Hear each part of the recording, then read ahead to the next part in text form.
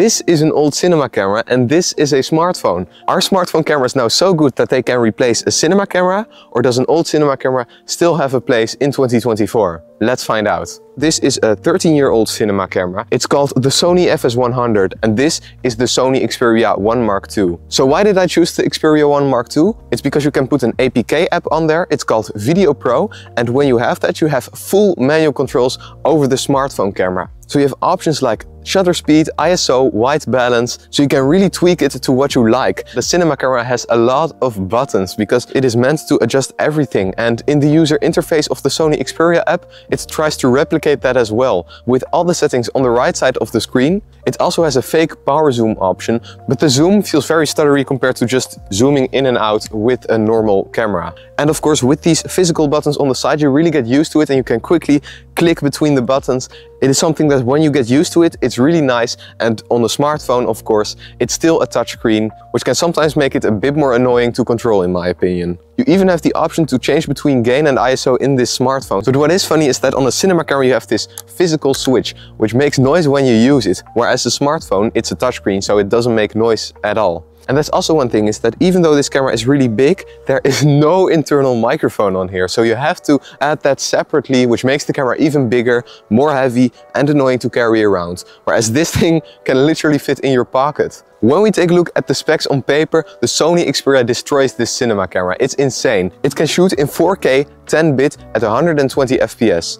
10-bit means that you have more color range compared to 8-bit, which this camera shoots in. Because this camera is older technology, it doesn't shoot in 10-bit and it still shoots in the old Full HD instead of the 4K that we have right now. And that's only up to 50 FPS, so you are limited with the frame rates and the resolutions of this old cinema camera because it's already so old. But specs on paper don't say everything at all, of course, because there is a reason why the cinema camera is so much bigger compared to a smartphone. It has full-size XLR ports, which allow you to get really good audio quality. And it's something that is standard in the professional world. It also doesn't overheat, whereas a smartphone, when you shoot for a longer period of time, it will get hot. Another massive difference is the sensor size. Smartphones can't be thick, so they don't have a big depth, which means they need to use a small sensor that is nowhere near as large as a cinema camera. And that is the same for the glass that they have in front of it. This has big, high quality glass in front of the sensor, which of course gives a better image. A smaller sensor means less light that it can capture, so worse in low light. It also has worse dynamic range and you won't be able to get that nice blurry background with the small sensor that's in a smartphone. But what is funny is that the Sony actually has a headphone jack where you can monitor your audio into the app, which of course you can also do on the cinema camera. And one thing that the smartphone is better than the cinema camera is that the screen size is much better, much brighter. I prefer it so much over this tiny screen. But this one does have the ability to flip, whereas this is always stuck at one position. Of course, these have massive differences, but the real question is, can you tell the difference between the quality of a smartphone and a cinema camera? I will show you two clips. One of them is shot with the smartphone and the other one is shot on the cinema camera. I won't tell which one is which, and then you can guess which one is the smartphone and which one is the cinema camera. So this is what I shot with the first camera.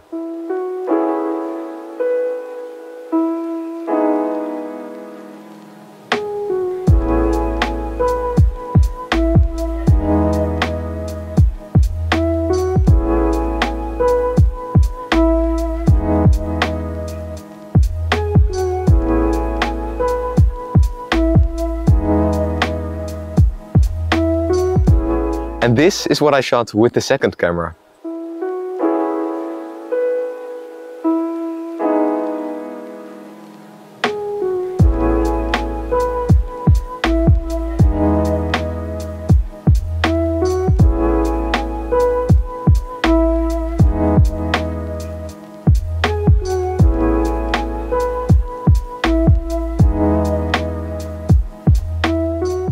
So the cinema camera was option B and the smartphone was A.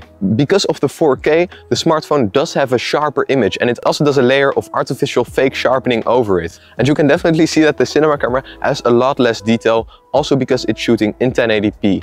But in my eyes, it has a nicer looking image. But does that mean that the image quality of the Xperia is bad? Well, of course not. It can still shoot some really nice videos and for something that you can put in your pocket, always have with you, it's amazing that you can have this kind of manual control in a smartphone and also smartphones have multiple lenses. That means you have an ultra wide, a main and a telephoto. And you can definitely see that the main camera has the highest quality, whereas the ultra wide and the telephoto have a smaller sensor. With the cinema camera you have one big lens that can go from wide to telephoto. So you have a really long zoom range. However, it doesn't have the ultra wide mode that you see on a smartphone. So if you want to get everything in shot, then you have to switch between different lenses. And then you have to take different lenses with you, it takes time to swap them. But because a cinema camera has options for different lenses, you can get the lens that you really want. For example, this one is great for zooming, but you can also put a prime lens on there, so you can get an even more extreme blurry background than what this lens can do. So in conclusion, the cinema camera is definitely better and it has all the professional features that a smartphone doesn't have, of course. But I don't always have the ability to take a big camera with me. So the ability that I can get good video quality out of a small smartphone is amazing. And especially those manual controls that you don't see on a lot of other smartphones. So what do you think between the difference of a cinema camera and a smartphone? Which one do you prefer to shoot on? Please let me know in the comments down below and thank you so much for watching.